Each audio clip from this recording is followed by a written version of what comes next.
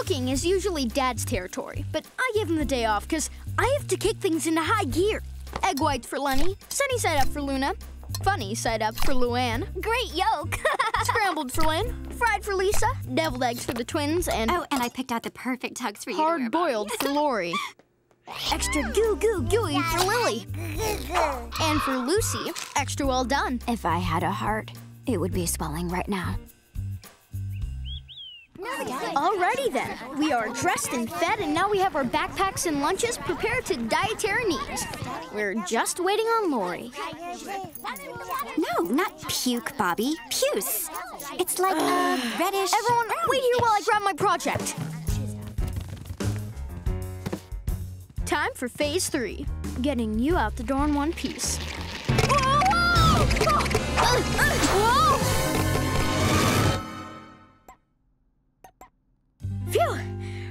Then, we're all ready to go. Time for phase four. Out the door. Like I said, if you want to get all your sisters out the door on time, you have to have a plan. Fine. If you don't want to wear the tux, then I don't want to go to the dance. In fact, I don't even want to go to school. Ah! So close. Wait! No, no, no, no, no. Everyone, stay right where you are. Lori, wait! You're the only one who can drive us. Get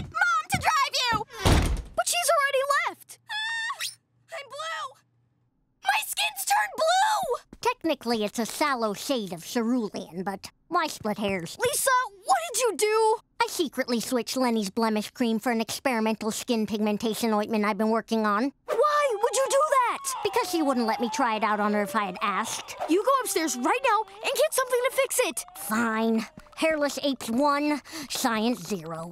Can't something go my way for once? You can't always get what you want, bro. Lincoln, I have finished my poem. It's called Failure. Lucy, I really don't have time for. Failure. It is not an option, yet it's something you choose. The man with the plan is destined to lose. Lily, where are your clothes? And where's your diaper? I found the diaper.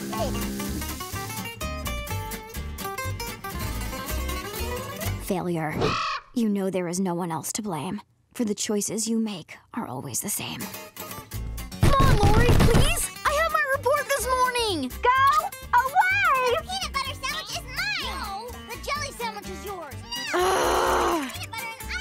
You like peanut butter and I like jelly. No, I like jelly and you... Hey!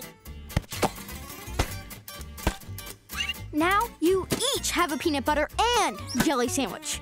Now get to the car. Thanks, Lincoln. Here's the antidote. Thank you. Wait a second. The real antidote? Fine. Hairless apes two, science zero. Here. Failure. It's all your fault, this streak of bad luck. No escape from this cycle in which you are stuck. Stop!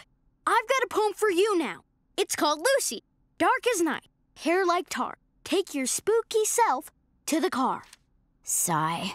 Once again, your poetic brilliance has put me to shame. Think that. Oh. oh where's my field hockey stick? I roller derby today. There's no field hockey sticks in roller derby. Finally! I look perfect and beautiful again. Oh, come on! I thought we were pails. Get it? Get it? How am I gonna deal with Lori? Got it. Hello.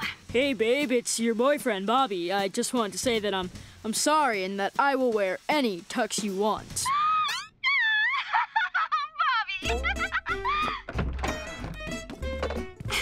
Would you hurry up, Lincoln? It's always such a hassle getting you out of the door in the morning.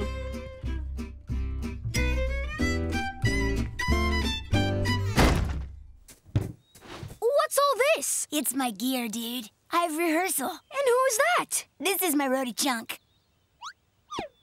No, no, no, no. He was not part of the plan. You out.